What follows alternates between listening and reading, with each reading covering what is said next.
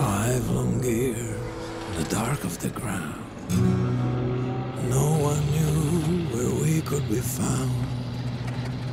But all seemed lost and we had to run from Judgment Day and its killing sun. Now it's time to be back in the light. The world of Skynet will have to fight. But then new life